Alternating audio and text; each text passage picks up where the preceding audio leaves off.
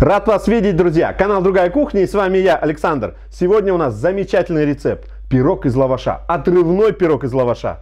Все готовится очень просто, а получается невероятно вкусно. Давайте готовить.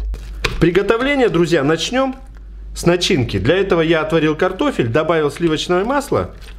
И сейчас вот так превратим это все в пюре. И помимо пюре, которое сейчас остывает, нам еще понадобится лаваш, ну куда без него, сыр, у меня кусочек твердого и немного чечила, два яйца, укроп, кусочек сливочного масла, соль, перец, будем брать по вкусу. Твердый сыр натрем на мелкой терке, а чечил вот так вот меленько порежу. Он, конечно, придаст невероятный аромат, потому что он у меня подкопченый, очень вкусный. Я таскаю потихоньку. Подготовленный сыр добавляем в наше пюре. Аккуратно. Сюда же зеленый укропчик, который мы мелко-мелко порубили. Красота. Перчик. На соль попробую. Добавляем яйца. Оп. И хорошо перемешиваем. На соль у меня и чечил, и сырок соленый. Поэтому буквально щепоточку добавлю. Я думаю, будет отлично.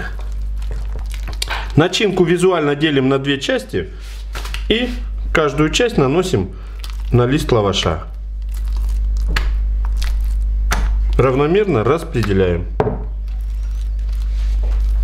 Сворачиваем плотный рулет и даем ему отлежаться.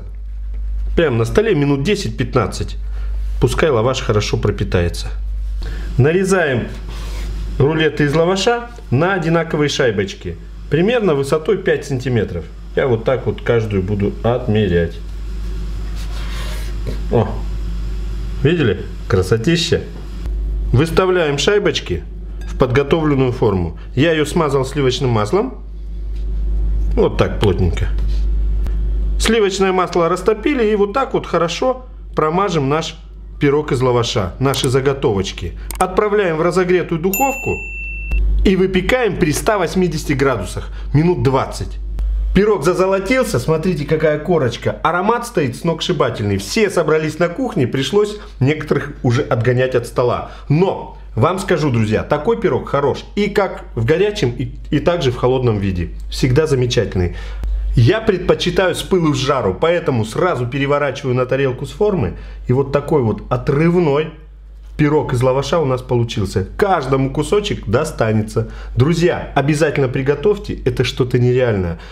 Настолько это интересная начинка получается, что многие даже не догадываются, что здесь нет мяса. Вот такой вот пирог, друзья. Специально для вас на другой кухне. Ждем вас завтра. Будет что-то еще вкуснее.